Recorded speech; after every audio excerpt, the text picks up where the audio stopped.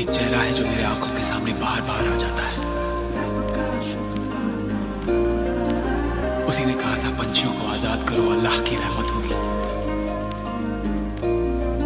जिनके अपने सपने पूरे नहीं होते ना, वो दूसरों के सपने पूरे करते हैं।